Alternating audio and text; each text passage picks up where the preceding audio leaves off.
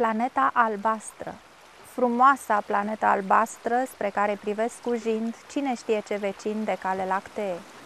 Dăruită nouă oamenilor, cu toată bogăția ei de forme de viață, cu imensa ei diversitate geologică, cu oceanul planetar plin de splendori și mistere. Un imens privilegiu, dar și o mare responsabilitate pentru specia umană, care, cuprinsă de febra dezvoltării sale tehnologice, neglijează în ultimele decenii, literalmente, pământul de sub picioare, dar și apele care ne hrănesc de milenii.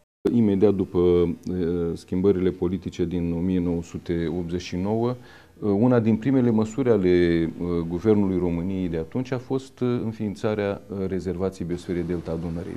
Rezervația biosferei Delta Dunării cuprinde pe lângă componentele continentale, cum le numim respectiv, Dunărea maritimă, Delta Dunării propriu-zisă, complexul Razim-Sinoe, complexul Sărături Murighiol, și o zonă tampon de circa 140.000 de hectare, o zonă tampon marină. Este zona care se întinde între limita continentală a deltei Dunării și a complexului Razim Sinoe și izobata de 20 de metri. De-a lungul Dunării românești și pe malurile pontului Euxin s-au cristalizat forme de poezie orală care vorbesc despre corecta conviețuire a omului cu apele, dar și despre consecințele tragice ale încălcării contractului totemic. Cea mai grăitoare dintre ele este balada lui Antofița lui Vioară. Ea vorbește despre un năvodar tânăr și nechipzuit, care spre a face pe plac logotnicei sale, fata lui Știrbei Vodă, pescuiește în apele interzise ale vidrosului, unde se găseau morunii cât bivolii și știucile cât vacile. Încălcând contractul totemic, el și năvodarii lui sunt pedepsiți drastic. Așa vom fi și noi pedepsiți dacă nu vom înțelege că a venit timpul să protejăm flora și fauna marină. Preocupările noastre pentru delfini au început cu mult timp în urmă. În perioada anilor 2001-2002 am concretizat primul proiect să salvăm delfinii. Eram la acea vreme primii care inițiam un astfel de proiect și ne-am asumat atunci o mare responsabilitate. În acel proiect am realizat primele monitorizări ale delfinilor eșuați, constituind și prima rețea a observatorilor voluntari de la Marea Neagră, de la litoralul românesc. Ei ne-au ajutat în toate activitățile noastre de monitorizare atât pe litoral cât și pe mare. Proiectele au continuat de-a lungul timpului, iar cea mai mare realizare a acestora a fost instalarea primelor dispozitive acustice de îndepărtare a delfinilor de plasele de pescuit, dispozitive care, deși au fost într-un număr mic, împreună cu specialiștii de la Institutul Național de Cercetare și Dezvoltare Marină Grigore Antipa, au reprezentat primul experiment de acest gen de la litoralul românesc.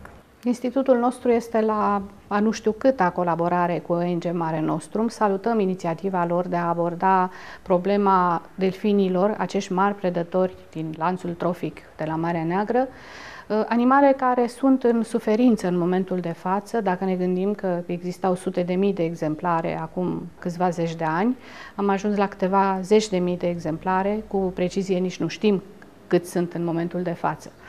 Încercăm să atragem atenția asupra necesității uh, dezvoltării unor activități de educație ecologică în rândul copiilor, pentru că acești copii vor deveni peste 10 ani, poate adulții noștri și poate că lumea noastră va avea o altă șansă.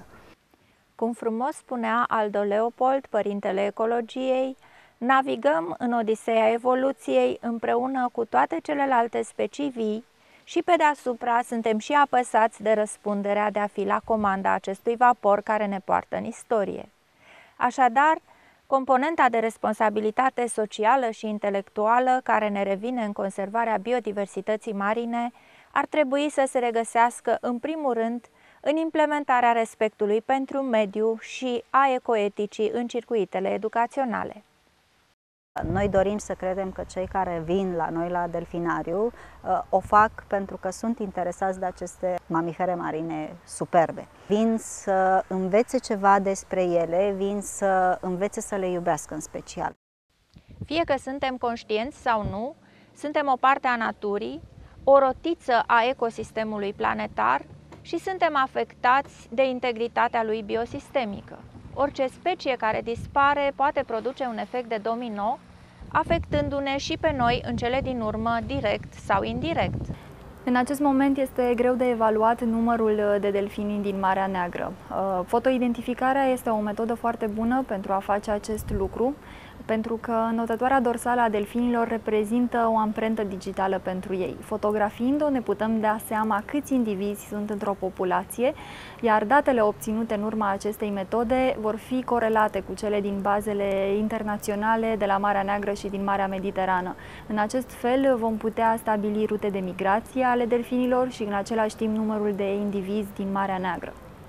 Bioetica trebuie să ne învețe să reparăm răul pe care l-am făcut deja, noi oamenii fiind de fapt responsabili de punerea în pericol a mai multor specii prin exploatarea excesivă a resurselor, prin invadarea și distrugerea habitatului lor natural, prin poluare și mai cu seamă prin indiferența noastră față de colocatarii de planetă. Avem obligația să salvăm ce se mai poate salva, dat fiind faptul că 99% dintre speciile care au populat planeta de-a lungul milenarei sale evoluții biogeologice au dispărut deja.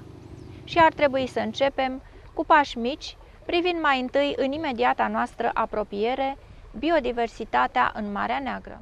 Vom continua în acest proiect instalarea acestor dispozitive acustice într-un număr mult mai mare, concentrându-ne pe zona de nord a litoralului românesc și ne bucurăm să vedem că pescarii din acea zonă sunt uh, extrem de bucuroși să accepte o asemenea propunere din partea noastră. De câțiva ani încoa se resimte dispariția chiar a unor specii de pește, sunt foarte rari, cantitățile obișnuite de pește care înainte depășeau anumite cote, la momentul prezent sunt sub 20%, să spunem așa. Nu au uh, aceeași rezistență, nu prezintă același mod de dezvoltare. Speciile de pești care se apropiau înainte mai mult de mal nu mai vin așa de aproape. Multe dintre ele au dispărut, mai sunt foarte rare, se prinde 1, 2, cantitățile au scăzut, Încercăm să reducem prin această metodă numărul delfinilor eșuați prinși în plasele pescărești și identificați de noi pe litoralul românesc în fiecare sezon estival. Toate detaliile însă despre evoluția acestui experiment le veți putea urmări pe site-ul proiectului nostru www.delfin.ro.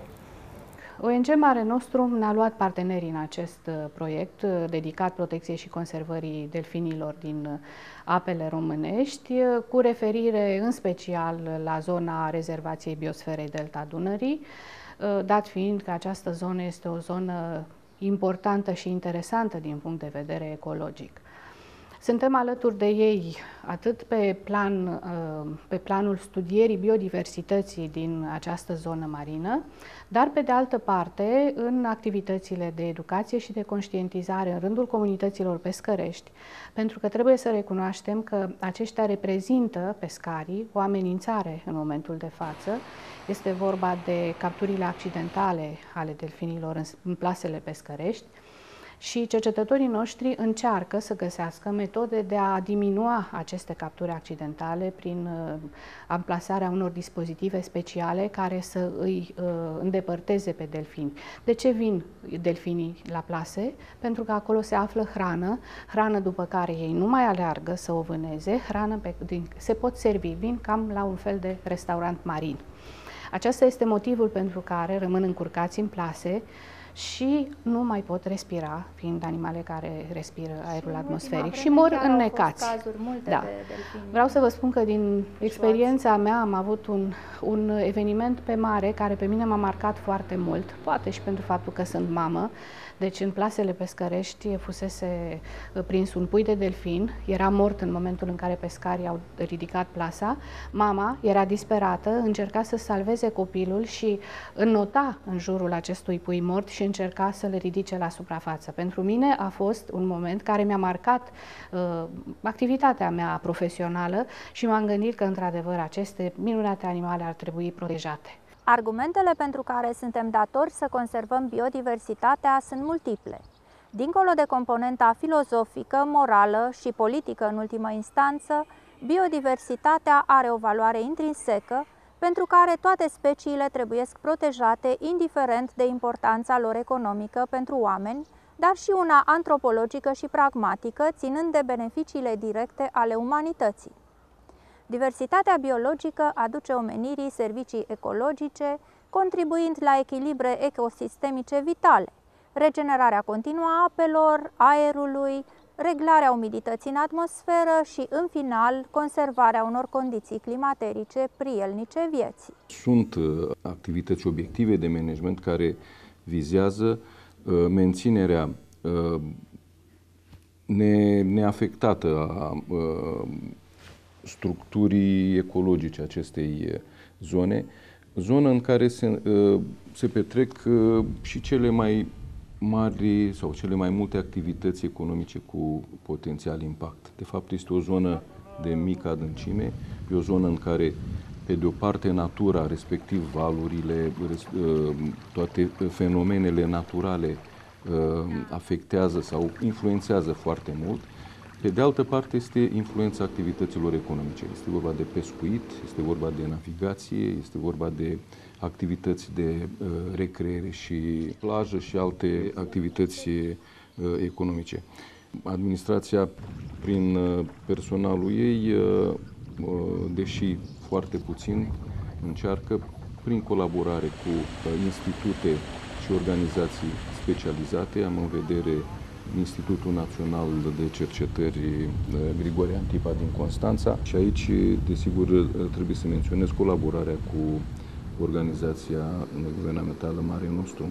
Ne bucurăm că uh, încearcă să uh, ne sprijine în gestionarea uh, faunei marine din zonă și în special uh, uh, a delfinilor, care în ultima perioadă de timp au devenit o problemă.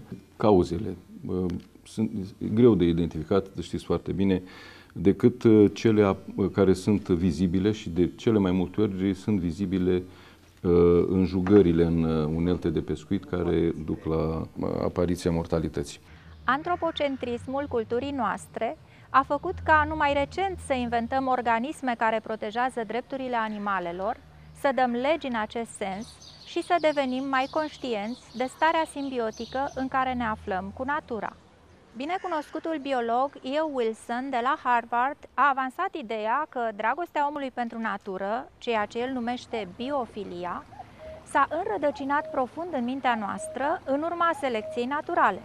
Altfel spus, numai aceia dintre noi care sunt dotați intelectual și emoțional în spiritul biofiliei merită și vor reuși să meargă mai departe. M-am întâlnit cu doi delfini. Eram în Bară Sulina, și eram cu o dragă și ei au venit exact așa la vreo 30 de metri de navă, de dragă, și amândoi săreau frumos, așa de frumos și de plăcut, așa penserate era. Vreo 10 minute au făcut vreo 3 turi așa pe lângă navă, s-au întors și au plecat înapoi în mare. Dar sunt foarte frumoși și ei plâng ca, ca un copil plâng. Plâng ca un copil. Am avut și un cumnat care a fost pescar și tot așa a prins de două ori a prins un pui de delfin în setcă, i-a dat drumul. A treia oară șeful de barcă, șeful lui, până la urmă a scos un băț ăla care se sprijine cu picioarele, o porcă, cum se spune în zona noastră, și l-a bătut până la omorât. Și a spus cum natul, spune, lasă-l mă Vasile, nu vezi că el plânge ca copilul. Spune, dar ce vrei să-mi rupe setca definitiv? Biodiversitatea. Primul ei mare fan a fost Noe, căruia i s-a dat dificila sarcină de a conserva toate formele de viață. Mesajul potopului biblic este cât se poate de clar. Chiar dacă omenirea întreagă ar pieri, mistuită de propria ei furie autodestructivă, biodiversitatea ar trebui protejată, căci numai ea ne dă o șansă de a ne reașeza în puzzle-ul biologic orânduit pentru noi. E o perioadă cam mare de când a început peștele să fie în scădere. S-au făcut multe canale, apele sunt prea poluate, și nu numai speciile de pești, dar și, și pelicanii în primul rând și de fapt toată flora și fauna deltei s-a cam distrus din cauza că apele sunt prea poluate. Se circulă cu viteză mare, el este speriat, nu știe ce să mai facă și s-au găsit și pești morți pe aici, pe mal, malul mării, pe coastă, din cauza că și prea căldură este, el nu rezistă la căldură, nu mai sunt gropile care erau înainte.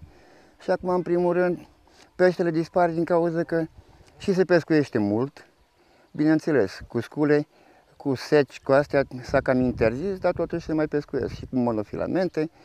Dar așa, la undiță, ca să te distrezi, poți prinde acolo un 2-3 kg bibănaș, roșioară, pentru saramurică, asta se mai poate. Multe specii de pește nu vor mai fi și așa știu că a început să dispară. Linul a început și el. Caracuda n-am mai văzut de ani de zile. Plus Argentia. Argentia mai fost acum 2-3 ani. Anul ăsta n-am văzut nimic. Bioetica se împletește cu aspecte economice dintre cele mai diverse.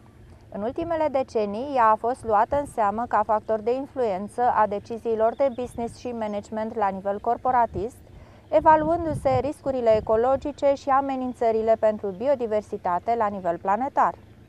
Interdependența și interacțiunile dintre umanitate și mediul ei de viață sunt extrem de complexe și de aceea trebuie să conștientizăm riscurile și să ne abținem să exploatăm economic și uneori chiar turistic zone sensibile ale conservării biodiversității.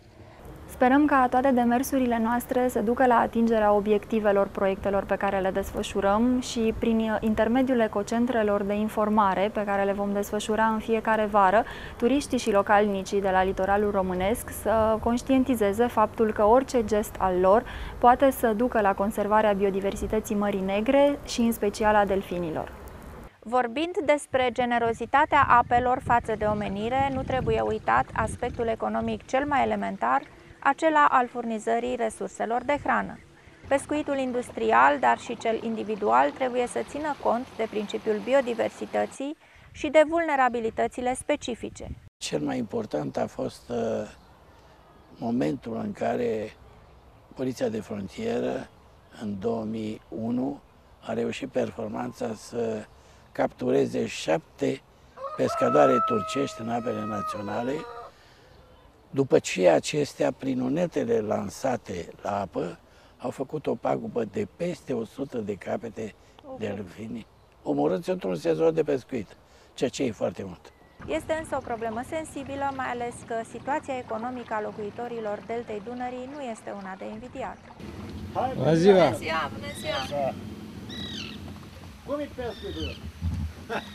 nu este, da? Nu mai este nici somnul prins pe Dunăre, cu laptașul trăgeam, prindeam, mergeam pe la mine la 4-5, prindeai câte 200-300 de kg de pește, predădeai, predădeai la Cherhana. Mare Nostrum intenționează să realizeze în vara anului 2011 primul catalog al delfinilor de la Marea Neagră și de la litoralul românesc. Pentru aceasta însă avem nevoie de ajutorul uh, oricărei persoane care ne poate da date despre apariția delfinilor în apele românești. Fie că este vorba despre delfine șuați sau despre apariția delfinilor vii, orice informație ne este necesară. Acestea ne pot fi transmise la numărul gratuit de telefon Tel Verde 0800 800 078. Astfel, oricine se poate înscrie în rețeaua de observatori voluntari uh, de la Marea Neagră. 2010 a fost declarat de Adunarea Generală a Națiunilor Unite drept Anul Internațional al Biodiversității, cu intenția de a spori gradul de conștientizare la nivel de masă a importanței acesteia pentru viitorul planetei. Datorită creșterii exponențiale a populației terestre și implicit a nevoilor de hrană, păstrarea biodiversității a devenit o prioritate mondială. Să fim și noi partea acestei îngrijorări planetare și să ne luăm deciziile conștienți de toate implicațiile faptelor noastre, să nu uităm nicio clipă că biodiversitatea este o speranță pentru viitorul planetei. Proiect cofinanțat din Fondul European de Dezvoltare Regională.